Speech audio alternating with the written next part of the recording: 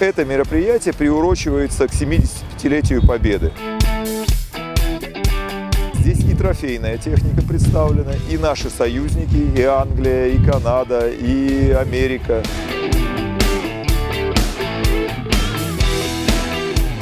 Хотим как бы в дань памяти о наших дедах сделать такой небольшой пробег.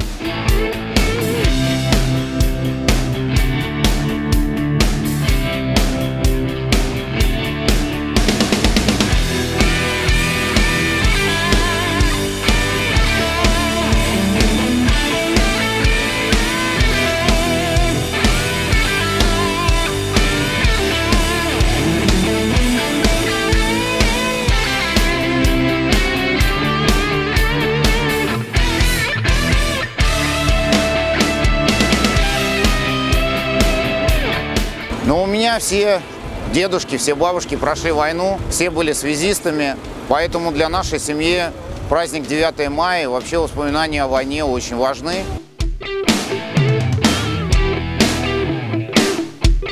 Ощущение потрясающее, потому что ты полностью погружаешься в атмосферу. У нас и полевая кухня, у нас и военная техника, военная одежда. То есть мы все должны быть одеты правильно, по форме, так как было 75 лет назад.